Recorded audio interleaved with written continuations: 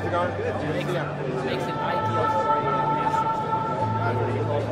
Hi, I'm Stefan. I'm at the AES in San Francisco and at the Dangerous Music booth.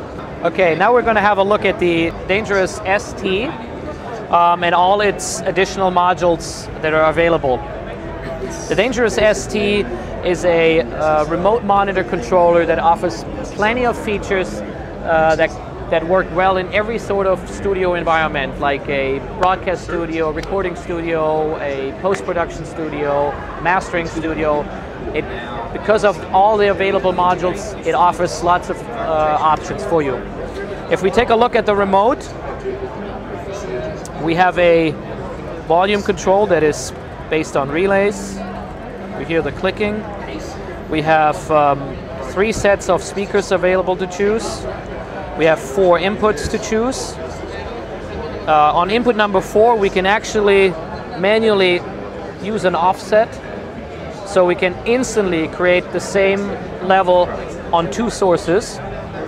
We have a talkback button, we have a dim control, mono, we have an additional aux in, and we have a um, solo function when you're in surround.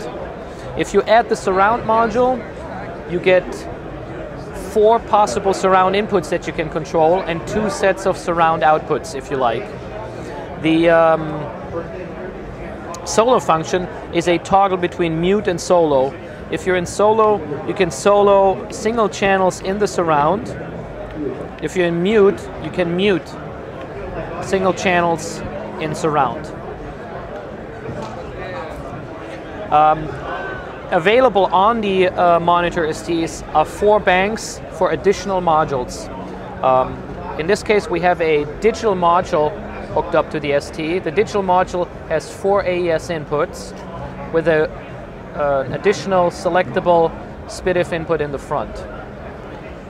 A signal LED and the trims for calibration of your studio to your desired level.